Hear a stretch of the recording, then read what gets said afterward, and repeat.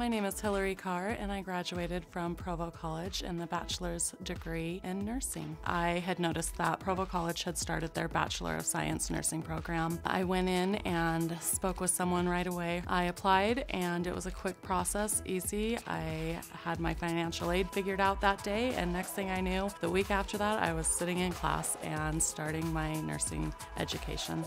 Anytime you need to, you can go in and talk with a advisor. You have an advisor all the way through your program. They know you individually, they understand your situations, they understand what you bring to the table, what challenges you may find throughout your program. Provo College and the education I received there was really preparatory for what I was going to see in my career. I was able to do all of my clinicals at the hospital I actually work at now, along with some other hospitals, so I felt very comfortable going into the hospital. I didn't feel like I had never been there before or that it was a new and scary experience. Um, people were very welcoming because they had seen me as a student working my way through the program for three years. And when I was able to actually come in as a nurse, it was wonderful and they were very accepting and thankful that I was there and had gotten most of my training through school at that hospital so it was a good transition. I was glad to go back to Provo College. It felt like home after being there before, and you don't feel like you're going to be lost in the sea of students. It is